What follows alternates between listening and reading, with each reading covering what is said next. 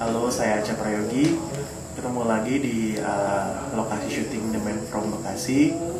Uh, sekarang saya nggak sendirian, saya sama uh, aktor dari Thailand, namanya Buk Pudit.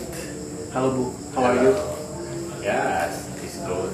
Ya, sebetulnya kalau untuk mengajak dia, hmm, memang untuk di episode ini saya lihat uh, ada karakter yang memang cocok untuk dia. Sebetulnya saya sudah lama, udah lama tahu dia dari teman saya. Jadi saya sempat beberapa kali hubungi dia, cuman karena memang waktunya belum ketemu, baru sekarang dia bisa dan memang sekalian memang dalam rangka dia uh, liburan ke Jakarta, jadi sekalian dia syuting. Di pertimbangan saya lihat dia, memang sih otomatis saya lihat dari wajahnya ya, karena wajahnya memang karakter banget. Gitu kan.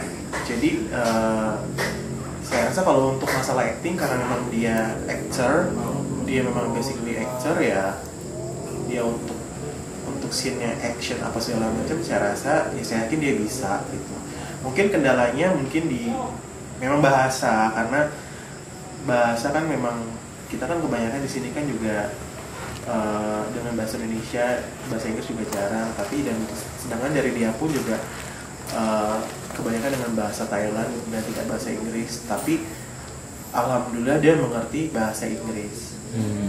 I told him that uh, about the language in in English that you can understand about the in the scene. Yes. Ya, so far sih untuk dia uh, untuk chemistry mengenai dengan pemain itu nggak ada kesulitan karena memang dia sendiri orangnya humble. Uh, dia sendiri orangnya hmm, cepet untuk uh, apa untuk lebih ngerti sama orang-orang gitu dan ya so far sih mungkin dari dari mukanya kelihatan dia agak uh, songong atau gimana tapi enggak orangnya baik. Ya he's nice. You look like that guy but uh, the person you're very nice. Ya, sebetulnya kalau memang dia waktunya banyak sih saya bisa ngasih dengan siapa aja. Cuman dia waktunya cuma sedikit. You know that he, he told me that uh, you don't have any uh, many time in here right? Only a little, little bit time so only one episode. If he, he he not busy maybe mungkin dia bisa banyak syuting di sini. Gitu. Hmm. Tapi tapi memang di di episode ini sengaja saya bikin dia nggak mati gitu loh. Ah, Jadi some, someday kalau saya syuting lagi sama dia bisa gitu kan. Gitu. Mungkin syutingnya di Bangkok atau di sini lagi ya saya nggak tahu. Cuman sengaja memang untuk di episode ini saya bikin dia nggak mati. Gitu. Hmm. Maksudnya endingnya tetap kalaupun mau disambungin lagi endingnya ada.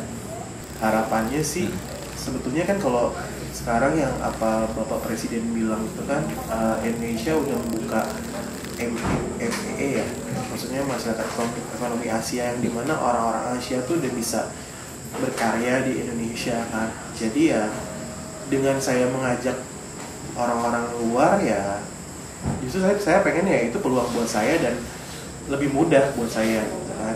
Ya siapa tahu aja nanti saya bisa lebih mudah untuk menginvite yang lain-lain saya gitu For my fans in Thailand and Indonesia, uh, I hope you enjoy and happy uh, when you see um, TV series uh, The Man from Bagasi Union TV.